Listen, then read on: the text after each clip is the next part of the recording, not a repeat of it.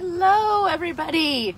Here I am again in the pickup line, waiting for my kiddo to get out of school. This is my time of day where I get to just sit and reflect, and I have this little cocoon of space for myself. this is real hashtag real mom life, right? What I want to talk about today is two sessions that I had this week already. It's only Tuesday, but I had an amazing session with a daddy, two daddies today that um, really both were kind of struggling with the same thing. Both of them love their families like crazy. Both of them want the best for their families, and both of them are getting in their own way um, for totally understandable reasons that are happening to all of us, whether your dad, your mom, whatever, doesn't matter.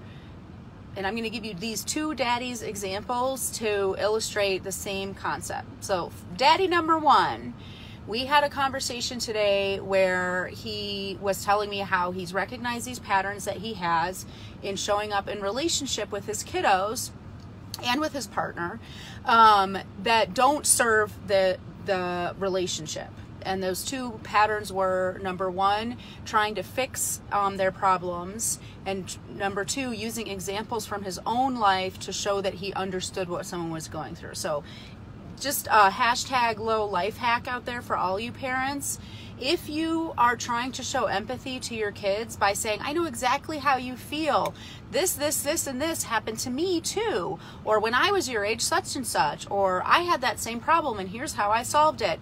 Eh, do not do this because you think that you are showing empathy, and you are, and you think that you understand this person's experience, which you might, but how that comes across, especially to a kiddo or a partner, is that you're making that conversation about you. So you're not going to land where you want to in that conversation. So that's a little sidebar. But these are the two things this daddy realized that he was making those conversations about him and he was trying to solve these people's problems in conversations instead of just being a good listener. And through our session, I asked him, why do you want to stop doing these things? And he said, Well, because I think it's going to get me a better relationship with my kids because they'll talk to me more, they'll feel better in these conversations. I asked him, Why do you want to do that in your conversations with your partner? And he said, Because then she's going to not feel invalidated by me or frustrated by me. She's not going to be angry with me. again, okay? And I'll get back to that in a second. So I want you to right now ask yourself, do you see the problem here? And now we're going to come back to daddy number one. Daddy number two had a session with him this afternoon, and he was talking to me about how um, he knew exactly how he wanted to show up in this moment with his daughter last night when bedtime wasn't going well. But he also knew that if he set a boundary and walked out of the room during bedtime, that his wife would then feel like she needed to step in and she had had a really hard day and he didn't want to put that on her. So instead of setting a boundary and, and giving the consequence like he knew he wanted to do, he chose to betray himself truly and instead stay there and do all of these ineffective parenting strategies that meant that he didn't leave the room, like arguing with her, trying to tell her what to do, all these things that we know don't work. And when I asked him, well, what do you want to do next time? He said, I want to set a boundary and give a consequence. I'm going to use an enforceable statement. I'm going to say, I'm happy to stay in the room with you as long as you can respect my body, for example. And then I'm going to walk out of the room.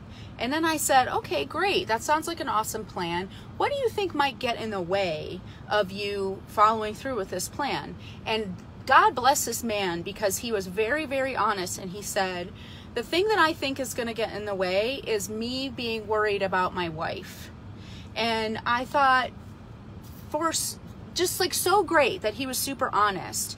And both of these stories, so hopefully you can remember daddy number one, daddy number two, both of them were trying to own and control their partner or their child's experience, their feelings, how they think, what they do by changing what they want to do. And with the most profound thing that happened with daddy number one is that I said, well, what's an internal reason for you to do this? Not because you think it's going to help your wife not feel invalidated or it's going to help your kids open up to you more, but why do you want to do it this way?